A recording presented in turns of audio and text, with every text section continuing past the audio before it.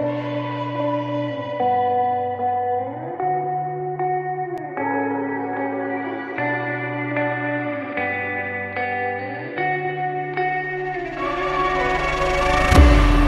a place where you can run free. Time does not exist.